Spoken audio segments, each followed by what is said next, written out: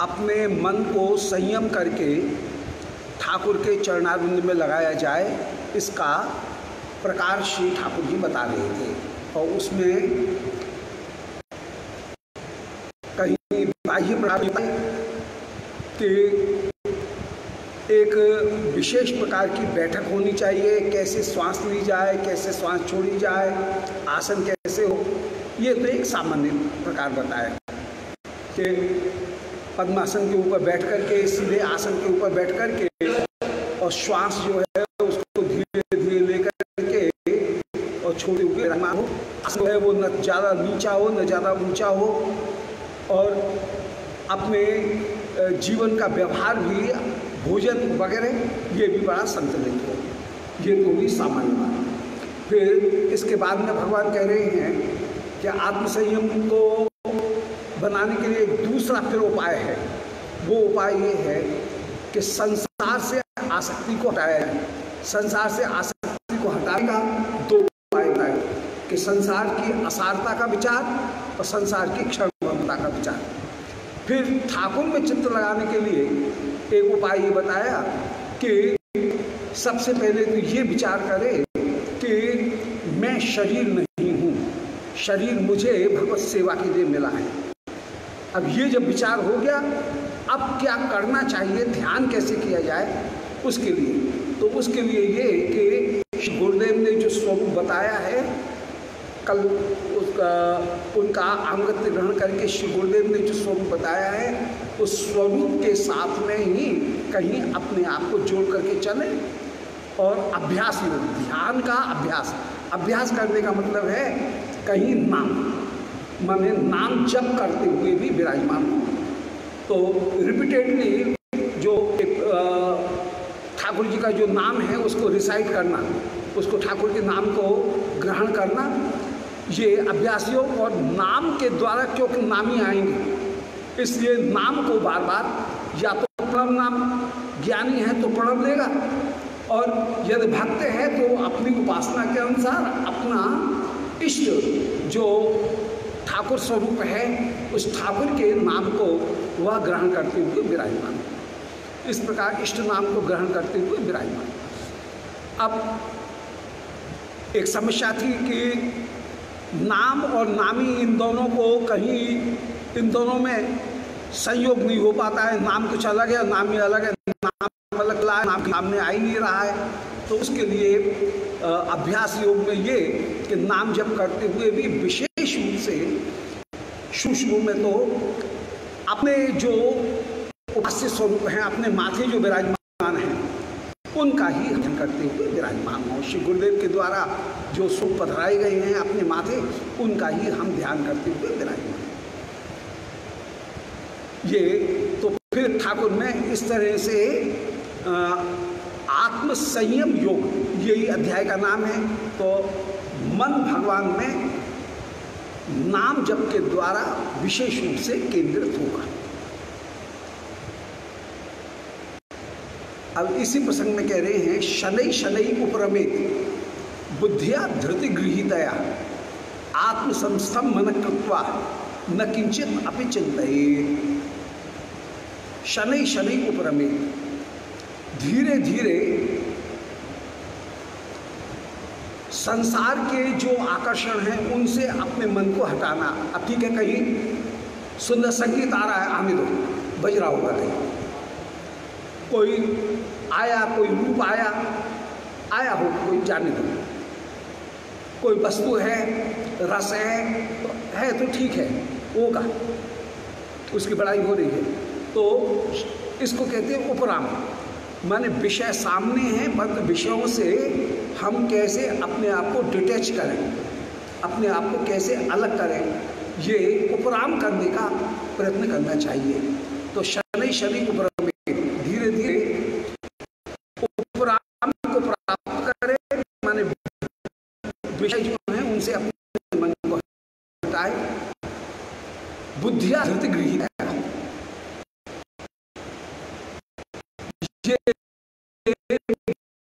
मन को विषयों से हराने का उपाय जो है, वह बुद्धि तो मन गड़बड़ मत कर चल हट तो फिर मन हट जाएगा।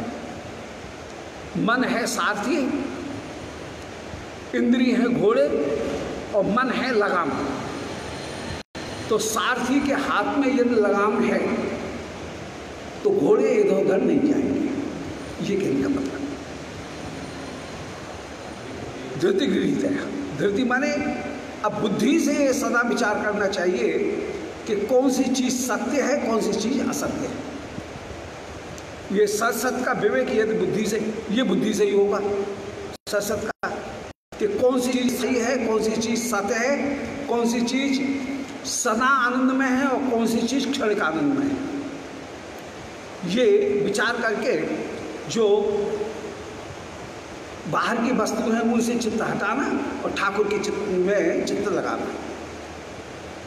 आत्मसंस्थम मन कृपा और अपने मन को सबके आत्मा रूप श्री प्रभु हैं, उन श्री प्रभु में ही अपने मन को कहीं लगाना पड़ेगा। आत्मसंस्थम मन कृपा मन को आत्मा में ही स्थित करना पड़ेगा।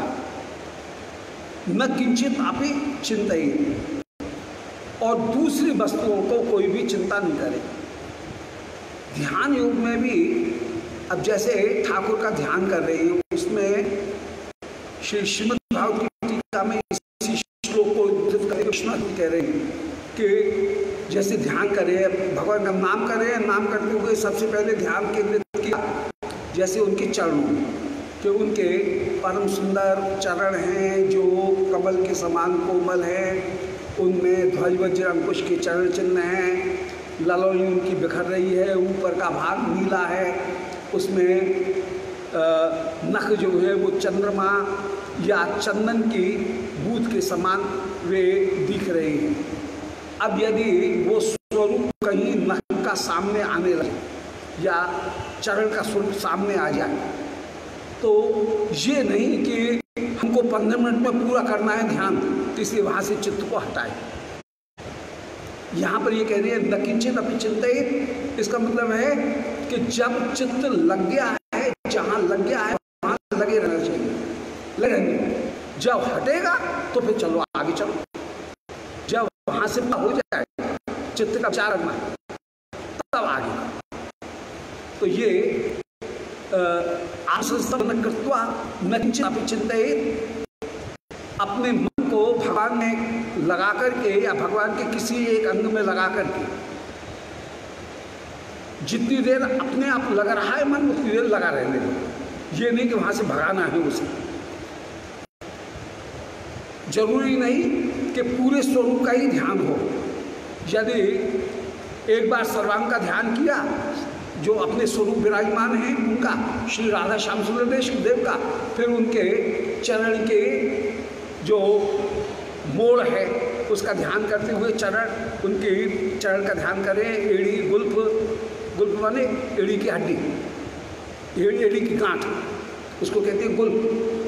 तो एड़ी, गुल्फ, उनके चरण, उनकी ललोई और उसमें ध्वजवज्र, अंकुश इत्यादि, उन चिन्हों का ध्यान कर रहे हैं, उनने कैसे नूपुर धारण कर रखे हैं नूपुरों की कैसी आवाज़ है, इन सब का ध्यान कर रहे हैं। अब जब तक ध्यान चल रहा है, तब तक चलने दो।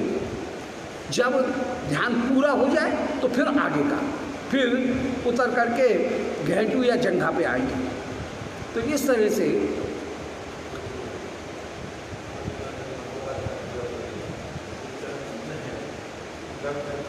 हाँ हाँ बिल्कुल बिल्कुल उनका उनका ध्यान किया जाए।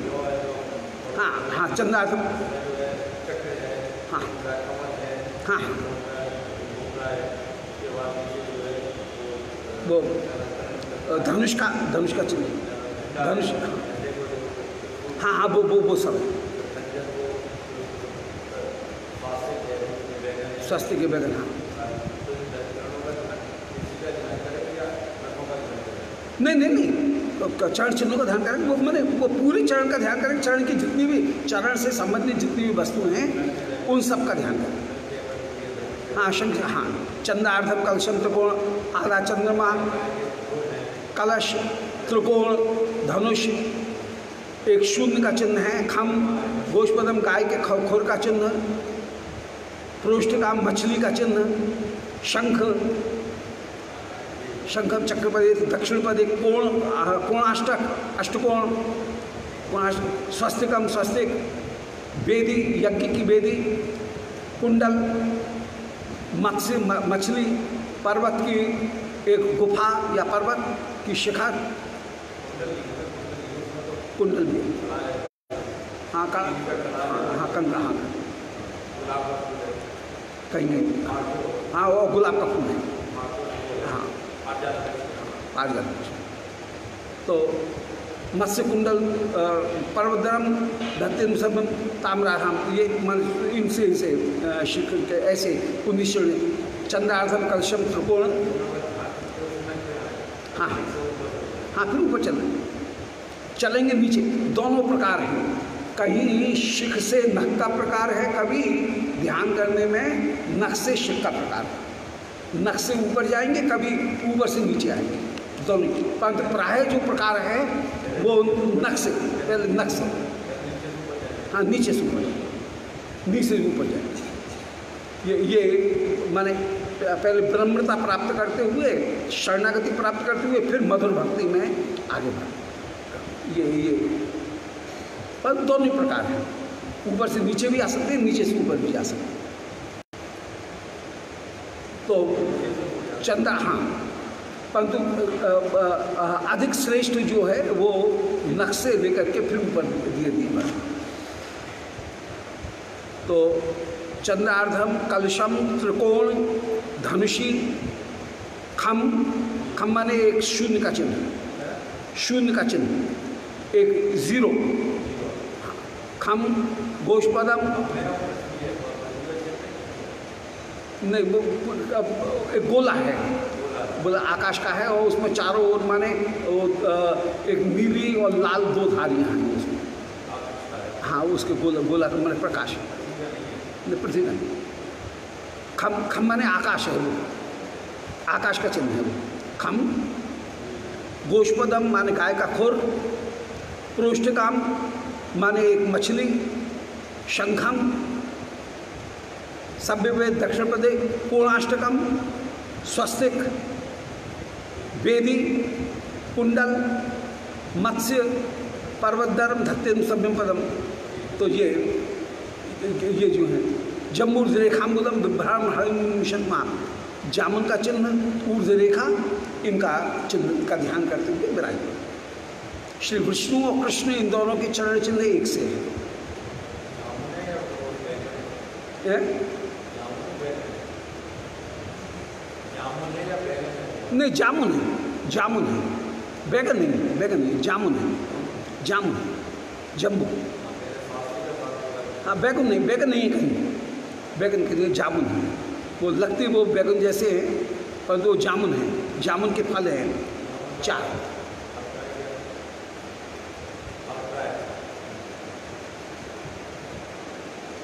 औषधि है। मन मन को शुद्ध करने वाली औषधि।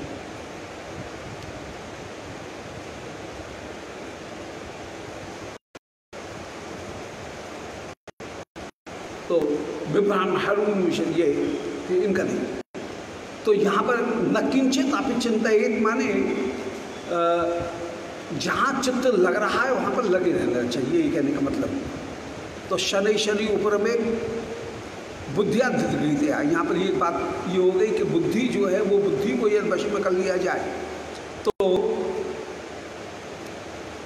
फिर मन वश में हो जाएगा। मन वश में हो जाएगा तो इंद्रियाँ वश में हो जाएँगी। और इंद्रिय के वश में होने पर फिर स्थूल शरीर भी कहीं वश में हो जाएगा। शनि शनि ऊपर में जल्दबाजी नहीं करे, विषयों से उदासीन धीरे धीरे हो क्योंकि शनि कंथा, शनि पंथा, शनि बलवत लंघनम। श्री शंकराचार्य भगवत ने कहा कि एक एक वैराग्य ग्रहण नहीं करना चाहिए, शनि कंथा। धीरे धीरे कंथा धीरे धीरे लेना चाहिए। शनि कंथा शनि पंथा चलते रहो चलते रहो तो थोड़ा चलते चलते रास्ता भी पार हो जाएगा। शनि पर्वत लंघनम पर्वत पर चढ़ना है तो धीरे धीरे हो जाएगा। शनि धीरे धीरे भक्ति करने और शनि की फिर धीरे धीरे मुक्ति हो जाए तो यहाँ पर यही कही शनि धीरे धीरे विषयों से क्या होती हुई चला जाए उनमें उनकी मात्रा घटाता जाए और रहा जाए ये बात। और आत्मसंसम कृत्वा।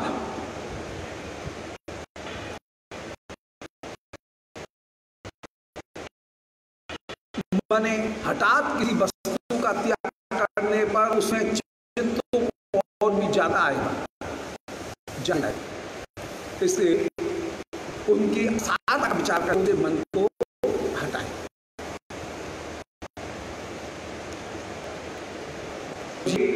उपाय भी तो सच्चिदानंद परिपूर्ण कृष्ण उनमें ही लगा करके विराजमान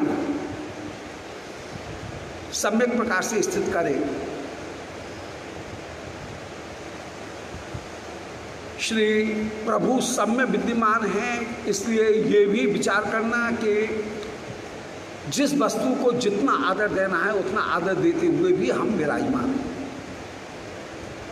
न किंचित आप चिंतित संसार का चिंतन नहीं करे, परमात्मा सब सब जगह विद्यमान है।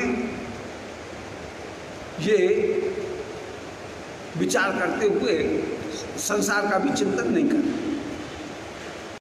और जहाँ चित्त लग रहा है, वहाँ उतने में चित्त लगाते हुए विराजमान ये ध्यान को लेके ये अद्भुत बातें कही थी। ये मन को वशीभूत कर दिया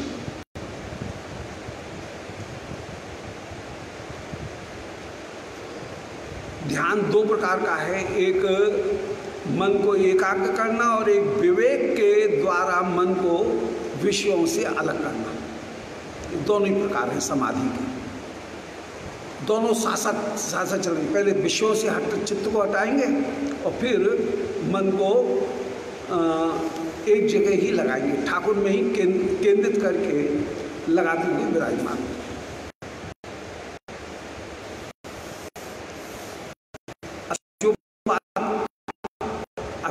की थी, उसी बात को फिर से कह रहे हैं कि यथम ततस्तत नियमित आत्मनियम वशम लई नहीं यतो यतो निश्चरती। अब मन जहाँ जहाँ से निश्चरती मन विचरण करना चाहता है। क्या एक जगह बैठ के चलो घूम आए? तो ये मन जो विषयों की ओर जहाँ जहाँ जाता है, उससे ये कहा जाए कि अरे भैया क्या रखा है? तो लौट के आ जा। ये कई जगह माने जो रसिक जन है, उन्होंने भी फिर ये कहा कि नहीं, अब इधर उधर भटकने से कोई लाभ नहीं है। नरोत्तम ठाकुर महाशय ने तो फिर ये भी कह दिया, भाई घूम लिए, बहुत घूम लिए, अब घूमना फिरना भी बंद करो। क्योंकि तीर्थ यात्रा परिश्रम केवल मने भ्रम। तीर्थ यात्रा भी केवल परिश्रम है, मन का भ्रम है। सर्व सिद्धि गोविंद चरण। गोविंद के चरण में लगाओ। केवल कहीं मोनोटोनसनेस है, एका कहीं एक उबाऊपन आ रहा है, उसको दूर करने के लिए जा रहे थे, पर इस बात को भी अब रोको। ज़्यादा भटकने का भी कोई मतलब नहीं। तो यतो यतो निश्चरति, मना। चंचलम अस्थिरम। मन चंचल है और अस्थिर है। वो जहाँ जहाँ निश्चरती माने आकर्षित होकर के चलता है। जहाँ जहाँ। ततो ततो नियमित वहाँ वहाँ से मन को रोको और आत्मनि एवं वशम लहे और आत्मनि माने परमात्मा में ही उस मन को लगाना चाहिए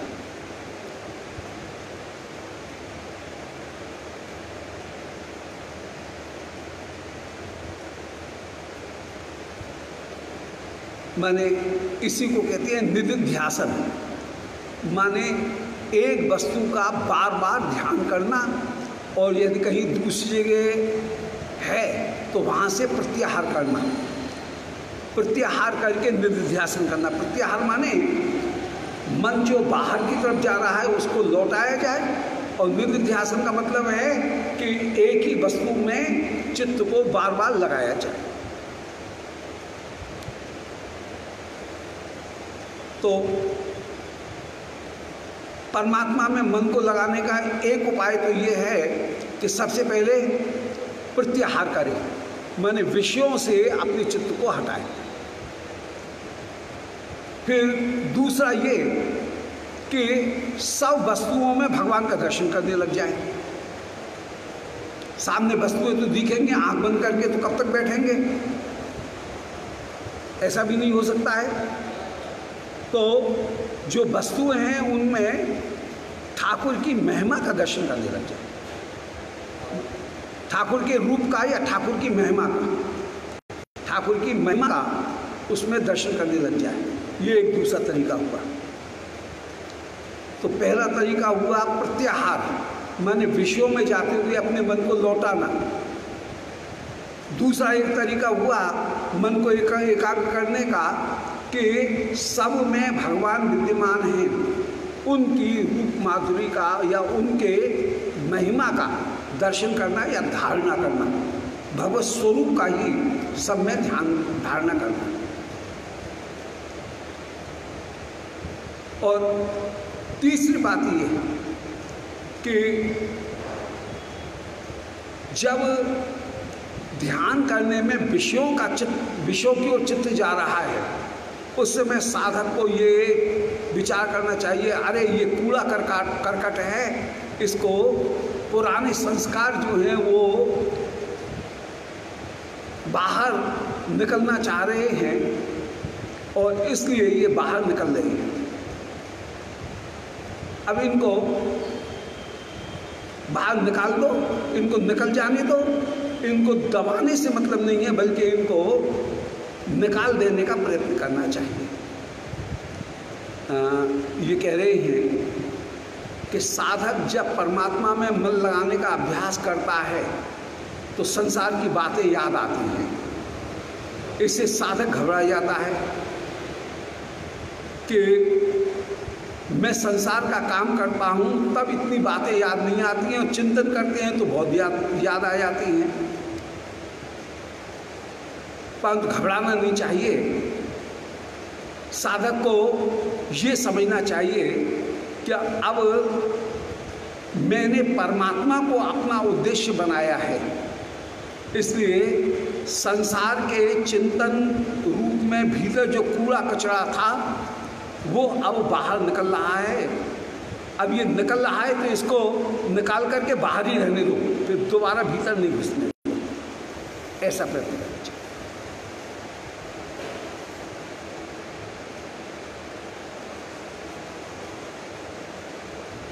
और कहीं भगवान के साथ में संबंध जोड़ने का प्रयत्न भी करना चाहिए। तो यहाँ पर तीन बातें बताई पहले विषयों से अपने चित्त को हटाना। उसको कहते हैं प्रत्याहार। फिर विषय तो सामने आएँगे ही आएँगे, हटाने पर भी। तो उनमें भगवत स्वरूप का दर्शन कर लेना। जैसे और इसको कहते हैं धारणा। प्रत्याहार प्रत्याहार के बाद में धारणा। धारणा का मतलब है कि दृश्यमान वस्तुओं में कहीं भगवान के स्वरूप का ही ध्यान करने का प्रयत्न करना। और ध्यान करते हुए, धारणा करते हुए भी यदि विषय आ रहे हैं तो उस समय इस बात का अभ्यास करने का प्रयत्न करना चाहिए कि कूड़ा करकट है करकट है, बाहर निकाला, ए, निकल है तो निकल जाए बाहर। तो आ रहा है तो आप बाहर निकल जाए आप दोबारा मेरे पास में आने की ज़रूरत नहीं। और श्री प्रभु में ही एकमात्र अपने चित्त को फिर लगाने का प्रयत्न करना। मैं भगवान का हूँ, ये तर्क कि मैं भगवान का हूँ, भगवान के लिए हूँ, मैं जगत के लिए नहीं हूँ। मैं शरीर नहीं हूँ, शरीर मेरा नहीं है, मैं शरीर के लिए नहीं हूँ, इसलिए विषय मेरे नहीं हैं, इनको हटाने का प्रयत्न ये साधक को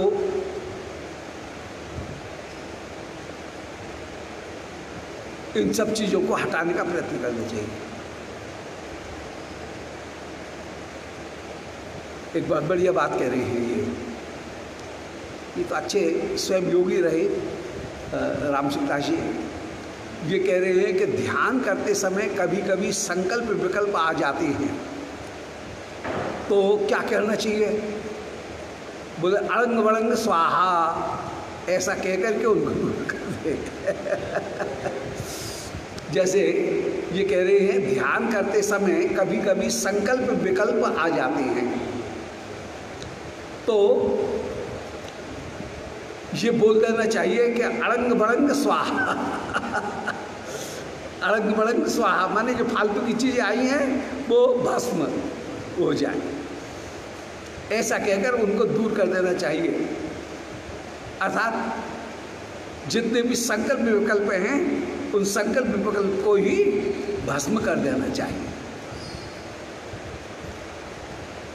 फिर एक उपाय ये भी बताया कि सामने देखते हुए पलकों को कुछ देर शीघ्रता से झपकाएँ। एक दो बार पलक झपकाएँ तो फिर नींद भी थोड़ी कम हो। पलकों को झपकाने का एक इन्होंने उपाय बताया। ये कह रही है, सामने देखते हुए पलकों को कुछ देर बार बार शीघ्रता से झपकाएँ और कर लें। तो पलक झपकाने से बाहर का दृश्य कटता है, ऐसे संकल्प विकल्प भी कटने का ये उपाय है। कि पलक को बार बार झपकाने से ये कह रहे हैं, इनका एक अनुभव होगा कि पलकों को बार बार झमका झपकाने से संकल्प विकल्प दूर हो जाते मैं संकल्प विकल्प का जो क्रम है वो टूट जाएगा। है तो बात सही। बात सही। ये कुछ टोटका बतका रहे हैं संकल्प, मैंने एक बार बार दो, तीन बार झपकाए और फिर बंद कर देते जैसे छींक आते समय और श्वास को रोकते समय हमारा विचार का क्रम टूट जाता है। ये भी एक तरीका है कि श्वास को ये रोकेंगे प्राणायाम करेंगे तो जितनी देर प्राणायाम करेंगे उतनी देर हमारा विचार का जो क्रम है वो टूट जाए। तो यदि कहीं बुरी जगह ध्यान जा रहा है, बुरी चीज़ का स्मरण हो रहा है, और उस समय श्वास को रोक लें। तो फिर वो बुरा दृश्य जो सामने दिख रहा है, वो अब अवरुद्ध ऐसे छींक के समय और जमाई लेते समय हम कहीं सोच नहीं सकते, ये भी एक उपाय तो इन्होंने दो तीन उपाय पाए बार बार आँखों को झपकाना, इसी तरह से श्वास को रोकना। श्वास को रोकने से जो चिंतन का क्रम है वो रुक जाएगा। तो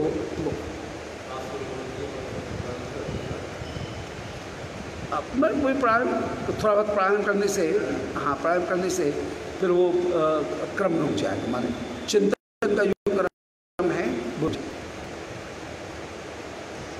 फिर एक जी कह रहे हैं कि नासिका से श्वास को दो तीन बार ज़ोर से बाहर निकालें और फिर अंत में ज़ोर से पूरे सांस को बाहर निकाल निकाल कर बाहर रोक दें। जितनी देर श्वास रोक सकें, उतनी देर रोकें और फिर श्वास लेते हुए स्वाभाविक सांस लेने की स्थिति में आ जाए। ऐसा करने से संकल्प विकल्प मिट जाते हैं।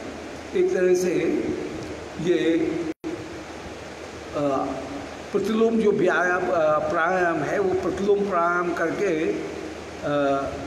कहीं श्वास को रोकने से संकल्प माने श्वास को भीतर भर करके श्वास को रोकना, ये एक पूरक का क्रम हुआ। ये तो एक पूरक का क्रम है ही है। कभी श्वास को बाहर निकाल करके भी कहीं रोकने का यदि प्रयत्न किया जाए तो ये संकल्प विकल्प जो है संकल्प विकल्प रुक जाए हाँ हाँ तो हाँ प्राणायाम में तो प्राणायाम में श्वास को ली, जितनी ली, उससे दुगने समय तक उसको रोकने का प्रयत्न किया। जितना लेने में समय लगा, उससे दुगने समय तक उसको रोकने का प्रयत्न किया। फिर उसी क्रम से, उतने ही क्रम से श्वास को छोड़ा। उतना ही समय लगा दिया। और ऐसे श्वास छोड़ने के बाद में भी फिर श्वास दोबारा नहीं ली और रोक करके रखा। तो इससे ये कहते हैं संकल्प। तो इन्होंने कई चीज़ बताने का प्रयत्न किया है। पहला इन्होंने एक उपाय बताया है, परमात्मा में मन लगाने की युक्तियाँ। पहला उपाय ये बताया कि जो व्यक्ति, घटना, परिस्थिति, इनमें यदि मन जा रहा है इंद्री जा रही हैं तो एक तो विवेक से उसको हटाना चाहिए। पहला एक उपाय, विवेक से रोकना चाहिए। फिर जहाँ जहाँ मन जा रहा है, वहाँ पर भी परमात्मा के स्वरूप का ध्यान करें। जैसे गंगा जी में भी परमात्मा है, गाय आ जाए तो गाय में परमात्मा है कि चिड़िया आ गई तो उसमें परमात्मा है। ये धारणा धारणा करने से काम चल जाएगा तीसरा एक उपाय बताया कि जो बुरे विचार यदि कहीं आ रहे हैं तो ये विचार करना कि ये निकल रहे हैं तो निकल जाने तो पर घुसने नहीं दूँगा। वापस। ये प्रयास करके उन विचारों को एक बार निकल के वो निकल जाए हट चलो, दूर हटो। उनको विवेक के द्वारा फिर वापस तो घुसने नहीं दूँगा। फिर चौथा एक उपाय इन्होंने ये बताया कि यदि और कुछ भी चीज़ अड़ंग बड़ंग आ रही है तो फिर ये कह कर के अड़ंग बड़ंग स्वाहा। ऐसा कर दो तो मैंने वो जो इधर उधर के विचार हैं, वे सब स्वाहा उनको छोड़ दो, फिर उनको स्वाहा कर दिया। ये विचार करना पड़ेगा। एक उपाय ये बताया कि ये विचार करें कि मैं देह नहीं हूँ, मैं देह का नहीं हूँ, देह के लिए नहीं हूँ। देह मेरा नहीं है। इन तीन चीज़ का विचार करते हुए यह विराजमान हो, तीन वाक्य। मैं देह नहीं हूँ, देह मेरा नहीं है, मैं देह के लिए नहीं हूँ। ये तीन चीज़ का विचार किया जाए तो ध्यान लग जाएगा। और ध्यान लगने में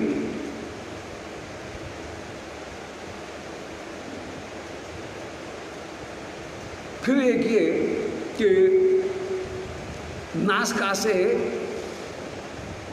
दो तीन बार श्वास को बाहर निकाले और श्वास को बाहर निकाल करके, झटके से निकाल करके कहीं रोक दे। तो मैंने उससे भी मन फिर से स्थिर होकर के विराजमान होगा ये कुछ योग की छोटी सी प्रक्रियाएँ बताई।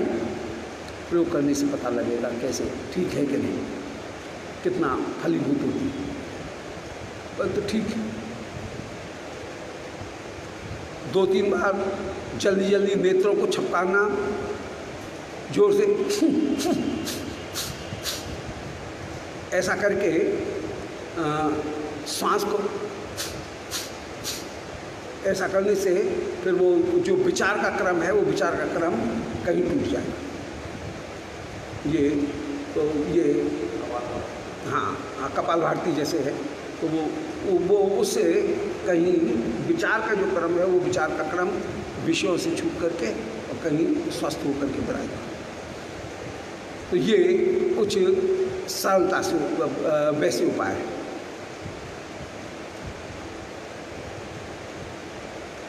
था यतो यतो निश्चरती मनश्चंचल मस्तिरम तत्सम नियमित आत्मनिव वशम रहे जहाँ जहाँ से मन निश्चरती माने जाना चाहता है चंचल अस्थिर होकर के यदि दूसरी के जाना चाहता ही है तो वहाँ वहाँ से भी नियम में तत्व इसको रोक करके आत्मनिव वशम जहाँ उसका चित्र लग रहा है, वहाँ पर ही वो लगाए। फिर जब साधन स्मरण करना पूरा हो जाए, तब फिर आगे के अंग का ध्यान करते हुए विराजमान न किंचित चिंत ही उपशांत मनसम हीनम योगिनम सुखमुत्तम उपैत शांत रसम ब्रह्मभूतम अकलमिशम जब अकलमिशम जिसके सारे पाप नष्ट हो गए हैं, कलमश नष्ट हो गए हैं, और शांत रजसम, जिसके रजोगुण की भी शांति हो गई है, और प्रशांत मनसम, जिसका मन सर्वथा निर्मल हो गया है, ऐसे ब्रह्मभूतम, ब्रह्म बने हुए योगी को निश्चित रूप से उत्तम सुख की प्राप्ति होगी। तो प्रशांत मनसम, जिसका मन शांत हो गया है, ऐसे योगी को सुख की प्राप्ति होती है। उपहित शांत रेशम रजोगुण, तमोगुण जिसके शांत हो गए हैं ब्रह्मभूतम अकल मिशम वो ब्रह्मभूत हो गया है, माने उसने सर्वत्र ब्रह्म का दर्शन किया। कुल मिलाकर के जो मन को एक, एकाग्र करने के जो उपाय बताए, उनमें तीन उपाय तो मुख्य हैं। एक तो ये विचार करना कि मैं शरीर नहीं हूँ, शरीर मेरा नहीं है, मैं शरीर के लिए नहीं हूँ। पहला ये उपाय। दूसरी बात ये कि ये जो विचार आ रहे हैं, ये विचार मेरे मन की पूरी वासना के कारण आ रहे हैं और ये निकल रहे हैं तो इनको अब मैं त्याग कर रहा हूँ। ये निकल रहे हैं तो इनको निकाल करके ही इनको मैं त्याग कर दूँ। ये दूसरा विचार करना। तीसरी बात ये कि सर्वत्र परमात्मा विद्यमान हैं, इसलिए मुझे इनके रूप का दर्शन नहीं करना है। इनमें छिपे हुए मूल रूप परमात्मा का दर्शन करना है। ये तीन उपाय तो भीतरी हैं। दृश्यमान रूप जो वस्तु है, उसकी असारता का विचार, अपने मन को विषयों से लौटा करके सत्य पदार्थ में लगाने का प्रयत्न, और जो विचार आए हैं, उनको कहीं विवेक द्वारा समाप्त करना। ये तीन चीज़ तो वैसे और फिर चित्त को एकाग्र करने का जो उपाय है, वो ये है, श्वास को रोकने का प्रयत्न करना, श्वास को निकाल करके फिर पूरक करने का प्रयत्न करना। तो उन्हें कुंभक करने का प्रयत्न करना। श्वास को निकालने के बाद में कुंभक करने का प्रयत्न करना। तो इससे भी विचार रुकेगा और पलकों को बार बार झपका करके फिर आँख को बंद करना या श्वास को कहीं झटके से छोड़ करके श्वास को धैर्य प्रदान करना, स्थिर करने का प्रयत्न करना तो इससे विचार का जो क्रम है, वो विचार का क्रम कहीं दूर हो जाएगा।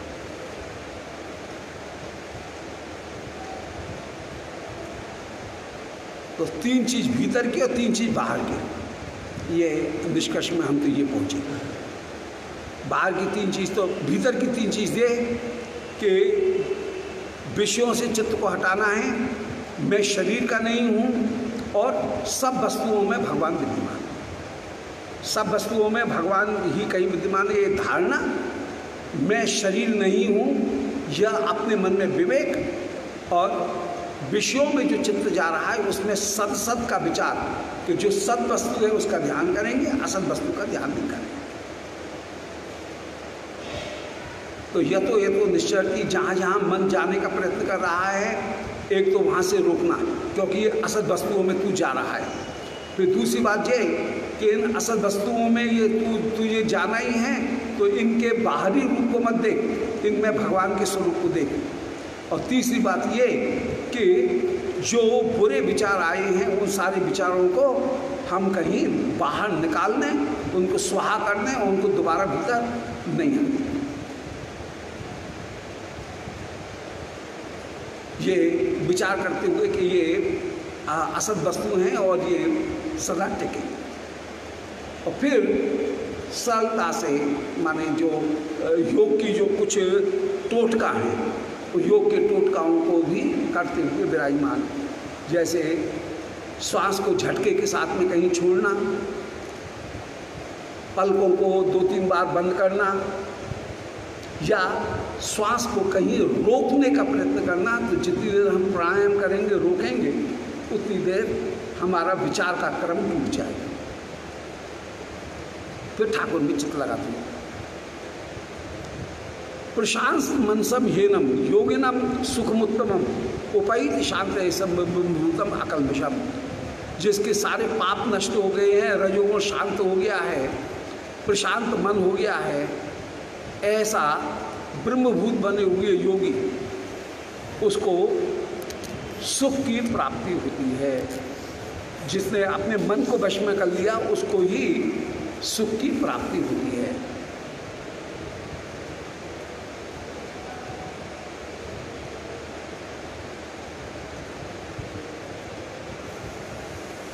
रजोगुण तमोगुण की वृत्तियों से कहीं प्रमाद की प्राप्ति होगी।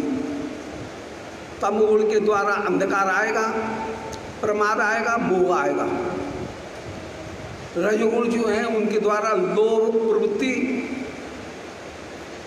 अशांति स्प्रहा रजोगुण, तमोगुण की वृत्तियों को समाप्त करना है और प्रशांत होकर के शांत चित्त होकर के रहना है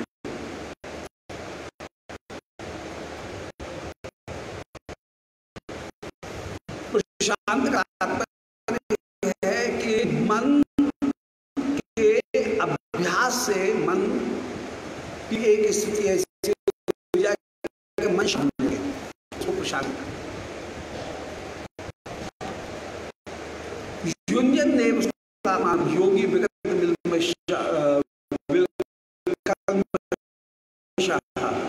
सुखेन संस्पर्शम अत्यंतम एक योगी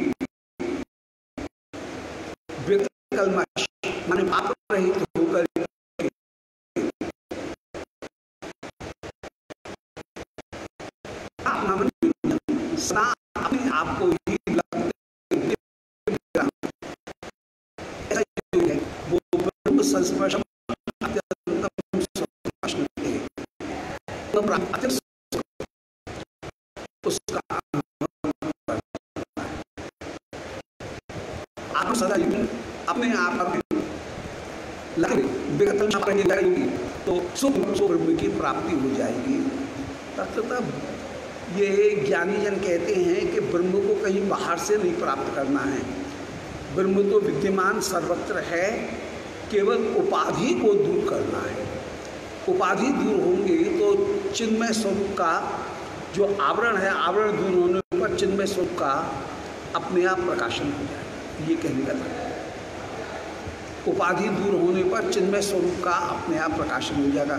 तो ब्रह्म को, ब्रह्म तो सिद्ध है, उसका साधन नहीं करना है। केवल हमारा जो साधन है, वो ये होना चाहिए कि उपाधि को हम कितना दूर करें। ब्रह्म के ऊपर जो आवरण आ गया है, उस आवरण को हम कितना दूर करें। जो उसका वास्तविक स्वरूप है, वो तो सर्वदा विराजमान है। जैसे कोई सफ़ेद पेपर वेट वो लाल मखबल के ऊपर रखा है तो वो लाल रंग का दिख रहा है, उसमें लाल रंग है नहीं। अब यदि कपड़े को हटा दिया जाएगा तो उसका वास्तविक सफ़ेद रंग, चमकीला रंग अपने आप सामने आ जाएगा।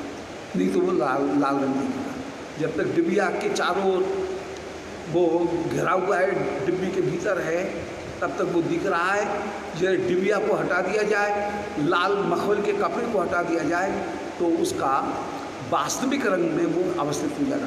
तो रंग तो उस पहले से भी वो विद्यमान था, पर उसका जो रंग दिख रहा है, वह कहीं उसको दूर कर देगा।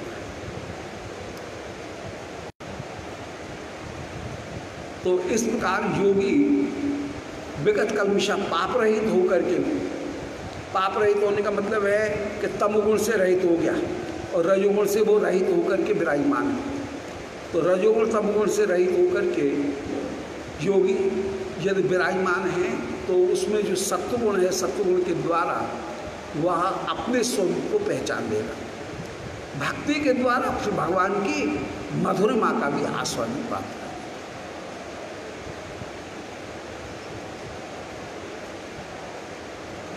तो योगी को एक तो प्रयत्न करना चाहिए। युंजन देव माने सदा उसे प्रयत्न करना चाहिए। नियत मास होकर के प्रयत्न करना चाहिए। सुखेन ब्रह्म संस्पर्शम अत्यंतम सुखमश्नुते, वो इसको प्राप्त हो जाएगा। तो उसकी ब्रह्म के जो अन्यता है, मैंपन का संस्कार भी नहीं रहता है। यही सुखपूर्वक ब्रह्म का स्पर्श करना है कि जो कार्यकोटि का अहम है, कार्यकोटि का अहम उसका दूर हो जाए। कार्यकोटि के अहम को दूर होकर के वह मैं पने के संस्कार से दूर दूर हो जाए। तो ये सुखेन ब्रह्म संस्पर्शम अत्यंतम सुखमश्नुते। यदि वह ये विचार करे कि मैं शरीर नहीं हूँ, मैं शरीर से भिन्न हूँ और परमात्मा सच्चित आनंद है जो दृश्यमान, जो स्वरूप दिख रहा है, ये उसकी माया शक्ति के कारण है, ऐसा यदि विचार करें तो यही ब्रह्म का संस्पर्श करना है। तो ब्रह्म को पैदा नहीं करना है। ब्रह्म के ऊपर आई हुई उपाधियों को हटाना है। आत्मा को पैदा नहीं करना है, आत्मा के ऊपर आई हुई उपाधियों को दूर करना है। यही ब्रह्म का ध्यान करना है। तत्वतः मन में ब्रह्म नहीं आएगा। जैसे कहा जाता है कि मन के द्वारा ब्रह्म का चिंतन करो। तो यहाँ पर एक प्रश्न हुआ कि मन तो बहुत छोटा है, ब्रह्म बहुत बड़ा है। तो व्यापक ब्रह्म मन में कैसे आ सकता है? तो इसका उत्तर यही है कि मन के द्वारा चिंतन करने का तात्पर्य है कि तुम उपाधियों को दूर करो। उपाधि को दूर करोगे तो वो व्यापक ब्रह्म ही बच जाएगा। उपाधियों का निराश करने पर व्यापक ब्रह्म बच जाएगा। यही ब्रह्म का ध्यान करना है। तत्वता उपाधियों को दूर करना यह ब्रह्म का ध्यान है। फिर चिन्मय जो इंद्रिय हैं, उनके द्वारा फिर भगवान के माधुर्य का स्मरण भी किया जाए। ईक्षते योग युग युक्तात्मा तो सर्वभूतस्तमात्मान सर्वभूतानि चात्मनि ईक्षते योग युक्तात्मा। सर्वत्र समदर्शना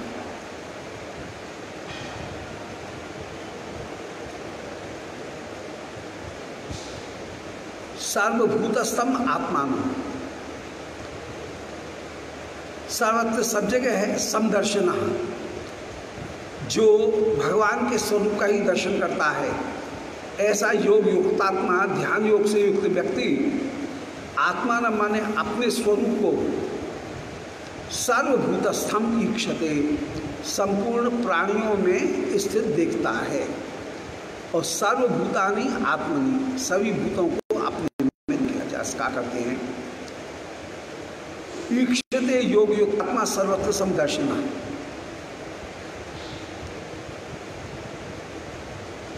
ये विचार करना चाहिए कि सर्वत्र सच्चिदानंद परमात्मा ही विराजमान है। जैसे खिलौने को नाम भले दे दिया गया है, चीनी के खिलौने को, परंतु उसके भीतर बाहर सर्वत्र चीनी ही विराजमान है खाण ही विराजमान है। जैसे लोहा ही सर्वत्र विराजमान है, जैसे मिट्टी ही बर्तन में सर्वत्र विराजमान है जैसे सोना ही प्रत्येक आभूषण में विराजमान है। ऐसे ही योग युक्त युक्तात्मा सर्वत्र समदर्शना। एक योग युक्त व्यक्ति सर्वत्र भगवान का ही दर्शन करेगा। उपादान कारण भगवान है, उनका दर्शन करेगा तो एक उपाय ये हुआ कि मूल उपादान कारण के रूप में भगवान ही विराजमान है, ऐसा विचार करना चाहिए। मतलब भगवान की माया शक्ति उपादान कारण के रूप में विराजमान है। तो कहना कहला यही जाएगा, भगवान विराजमान है। यदि भगवान साक्षात रूप से विराजमान नहीं है, उपादान कारण माया है। परंतु उसके भीतर अंतर्यामी रूप से भगवान विराजमान है। तो निष्कर्ष तो ये है कि अंतर्यामी है भगवान, उपादान कारण है माया। और माया क्योंकि स्वतंत्र नहीं है, भगवान के अधीन है इसलिए भगवान ही उपादान कारण। इस तरह से अभिन्न निमित्त उपादान भगवान ही होंगे।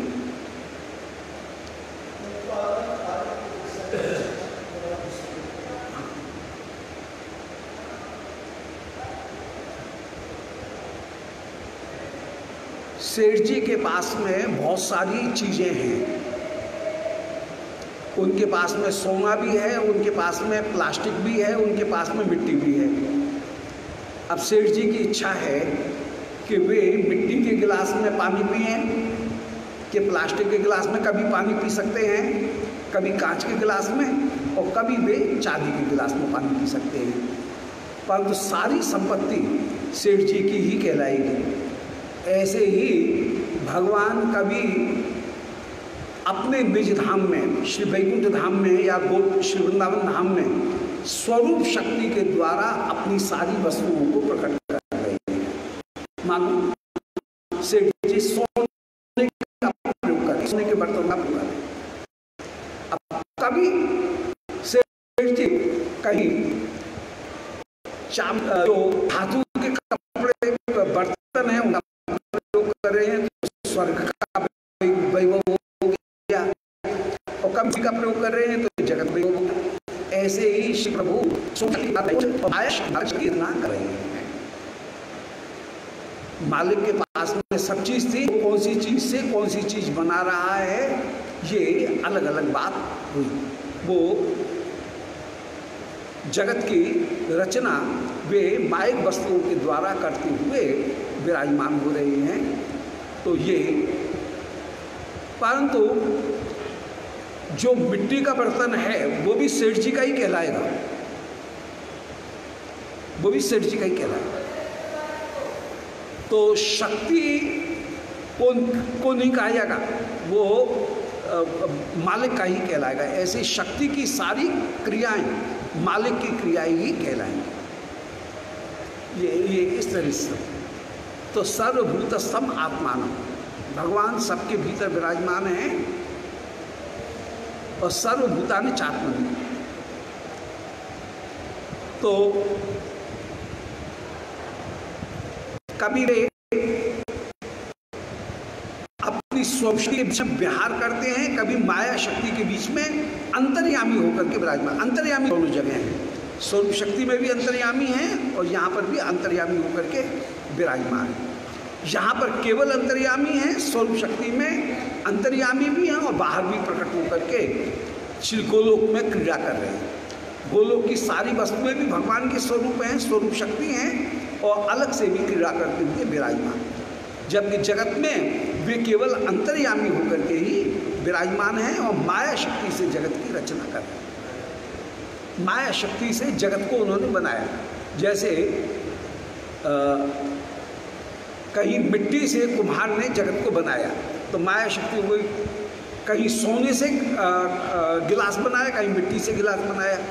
तो मिट्टी से बनाया तो उसको हम कहेंगे त्रिगुणात्मक माया से बनाया सोने से बनाया, इसका मतलब है स्वरूप शक्ति से बनाया। परंतु सबके मालिक श्री कृष्ण और अंतर्यामी होकर के भी विराजमान है। गोलोक में भी साक्षात विराजमान है और यहाँ पर अंतर्यामी होकर के प्रत्येक विराजमान है। यदि अंतर्यामी नहीं होती तो वस्तुएँ सामने नहीं होती। तो ये हुआ सर्वत्र समदर्शन। अब योग युक्तात्मा योग युक्त आत्मा का तात्पर्य है कि वही साधक ने ध्यान योग के द्वारा सबसे पहले विचार किया कि संसार उपास्य नहीं है, क्योंकि तो संसार विनाशील है और संसार परिणामी है। फिर सबके भीतर भगवान विद्यमान है। ये दूसरा विचार किया, अंतर्यामी रूप में। फिर तीसरा विचार ये किया कि ये शरीर मुझे एक साधन के रूप में मिला है, इसलिए मैं शरीर नहीं हूँ। अब यदि मेरा मन यदि कहीं विश्व में जा रहा है तो मैं उसको वहाँ से लौटाऊँगा। लौटाने के लिए फिर कोई सरल सरल से उपाय जो है, टोटका के, वो टोटका के उपाय जैसे भी करते हुए विराजमान तो योग युक्त आत्मा, योग करते हुए विराजमान है।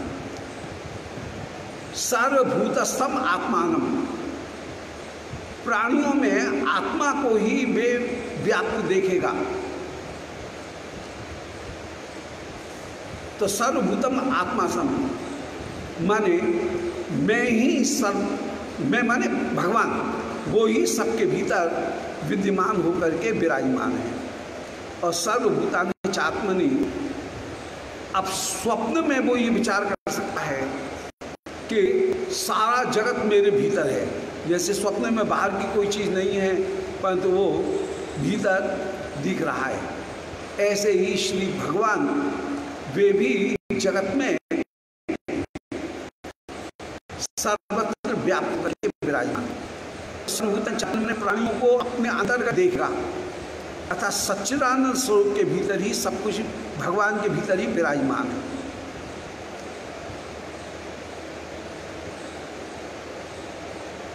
जितनी भी वस्तुएँ हैं, वे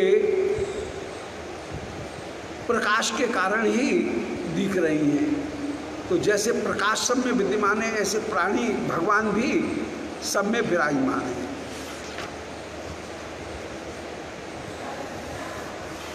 इस प्रकार। कहने का तात्पर्य है कि प्राणियों में तो अपनी सत्ता है, पर अपने में प्राणियों की सत्ता नहीं है। कारण है स्वरूप तो सदा एक रूप रहने वाला है, प्राणी उत्पन्न और नष्ट होने वाले हैं, मान शरीर। प्राणी मान शरीर। शरीर उत्पन्न होगा, नष्ट होगा, आत्मा सबके भीतर विद्यमान तो सबके भीतर आत्मा को देखना, इसका मतलब है कि आत्मा जब तक सबके भीतर है, तब तक वो वस्तुएँ काम कर रही हैं। और अपने भीतर सबको देखना, इसका मतलब है कि आत्मा ही सबके सामने व्याप्त होकर के विराजमान हैं। और सारी वस्तुएँ आत्मा का आश्रय लेकर के विराजमान हैं, इसका एक छोटा सा आभास हमको स्वप्न में हो जाता है कि सारा जगत हमारे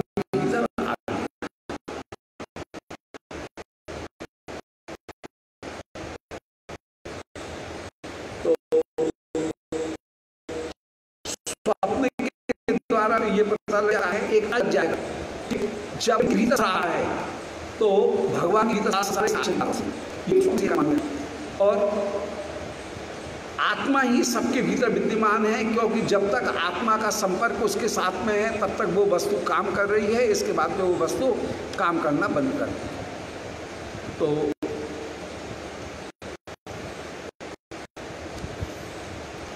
पूरे, इस पूरे प्रसंग में कहीं ये ही बात पूरे अध्याय में चल रही है कि विश्व को लौट करके लाना है। तीन चीज़ का विशेष रूप से विचार करना है कि मैं शरीर के लिए नहीं हूँ, ये जगत विनाशील है और शरीर मुझे भगवत सेवा के लिए प्राप्त हुआ है। ये तो हुए मूल वस्तु और इनके अतिरिक्त जो वस्तुएँ हैं, वो सारी वस्तुएँ कहीं परिवर्तनशील होकर के विराजमान हैं और उनसे चित्त को हटा करके जो इधर उधर के विचार आ रहे हैं, उन सबों को भस्म करना है। ये तीनों चारों श्लोकों का पूर्व निष्कर्ष जो है, वो निष्कर्ष यही है। संसार की असारता का विचार, संसार मुझे साधन के रूप में मिला है, ये मेरा स्वरूप नहीं है और मैं इस शरीर का और संसार का भगवत सेवा के लिए ही प्रयोग करूँ ये मूलभूत में इन तीन चीज़ों को विचार करना है। संसार असार है, मैं शरीर नहीं हूँ, और शरीर का उपयोग मुझे भगवत सेवा के लिए करना है। ये तीन चीज़ का यदि विचार हो जाएगा बस तीन चीज़। फिर से तीन चीज़। संसार असार है, मैं शरीर नहीं हूँ शरीर मुझे भगवत सेवा के लिए मिला है। इन तीन चीज़ का विचार करके करने से व्यक्ति को संपूर्ण कल्याण की प्राप्ति हो जाएगी। यही है आत्मसंयम योग। फिर और सब तो वो टोटका टोटका जैसी चीज़ें हैं, उस करने से कहीं एकाग्रता प्राप्त है। हाँ तीन चीज़ का विचार करने से माया हट जाएगी। ब्रह्म ब्रह्म का ही प्राप्त तो करना नहीं, ब्रह्म तो पहले से ही है केवल उपाधि हट जाएगी। बिल्कुल तीन तीन चीज़ें हटे। परंतु मुझे शरीर का उपयोग करना है, ये उपयोग कैसे करूँगा? उसके लिए तो भक्ति लगनी पड़ेगी। और उसके लिए नाम नाम और भक्ति और गुरु आश्रय। ये शरीर मुझे जो मिला है, ये भगवत सेवा के लिए मिला है तो नाम नाम गुरु और भक्ति के साधन, नवदा भक्ति, ये इनको मैं करना पड़ेगा और दूर हटने के लिए कि संसार जो है वो संसार नहीं है, संसार मुख्य वस्तु नहीं है, ये विनाशील है और मैं संसार नहीं हूँ। इसको विचार करते हुए का बोल, वृंदावन बिहारी लाल की जय। निताय गौर हरी